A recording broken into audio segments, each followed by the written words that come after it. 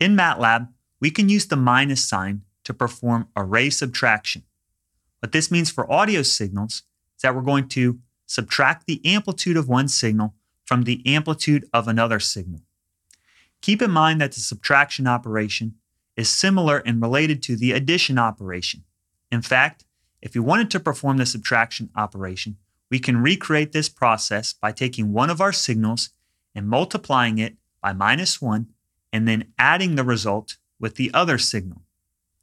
Audio engineers sometimes use this process to perform something called the null test, going to subtract the amplitude of one signal from another and find out if the two signals are identical.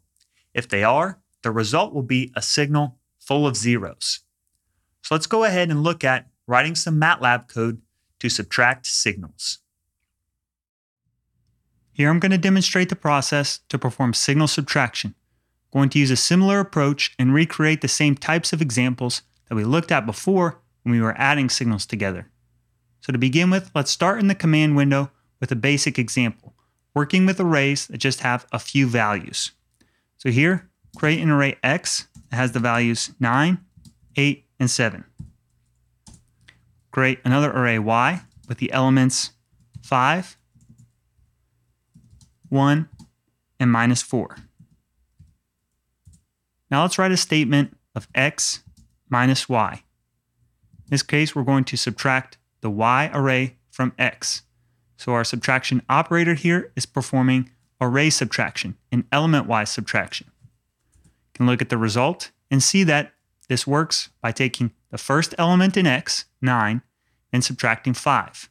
We get a result of 4. And we do 8 minus 1 gives us 7. And then 7 minus negative 4 gives us 11. So in many ways, this operation works in a similar fashion to what we saw before when we were adding signals together. There is one difference though. In this case, if we were to write the statement y minus x, we'll get a different result than x minus y. When we were adding signals together, we could change the order. x plus y is the same as y plus x. So that's just something you need to be aware of when you're working with audio signals. Now let's move on and look at writing an M file that's going to perform these same kinds of things except with audio signals. So here what I've done in this script, I copied and pasted over some of the commands we were working with before when we were adding signals together. So we start and we clear things out, declare some initial parameters, declare some frequencies for our test signals, synthesize those signals, and then go through a loop. Before we had the addition operator here to add together the elements at the appropriate sample number. In this case, what we're going to do is use a subtraction operator instead. Then we plot the result and we can see the kind of signal that uh, is combined here. So I can zoom in and look at the waveform. This waveform will be slightly different than if we were uh, adding the two signals. So that's one way that we can add things together. Keep in mind, we can always perform a similar kind of thing without the loop if we wanted to by doing signal 1 minus signal 2. And by default, MATLAB will automatically perform the array subtraction for us. A few more things I want to show you about subtracting signals. So let's start back here in the command window again and use the signals that we were working with before. We had X, had these values, 987, and Y had these values, 5, 1, and minus 4. Before we wrote a statement that was X minus Y, we can get the same exact result by using the addition operator if we were to invert the polarity on our signal y or on this array. So if we do minus 1 times y, we're going to get the same result as if we use a subtraction operator.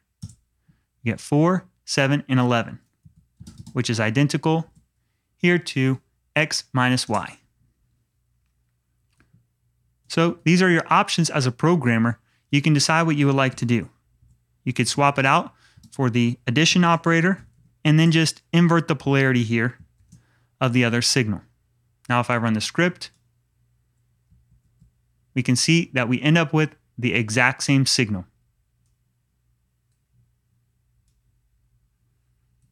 So the last thing I'll mention here is something called the null test that audio engineers will use to see if two signals are identical.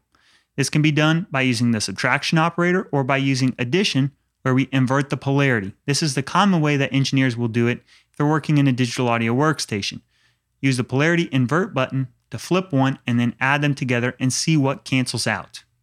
So in this case, if we subtract the element here from signal 2 and it matches the element from signal 1, our output will be 0. So if everything's identical, we end up with 0.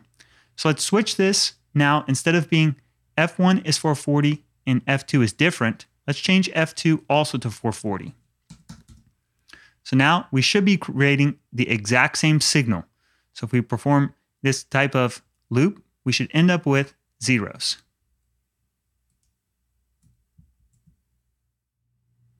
So now we've looked at how signal subtraction is performed and also looked at how we could apply it to perform something called the null test.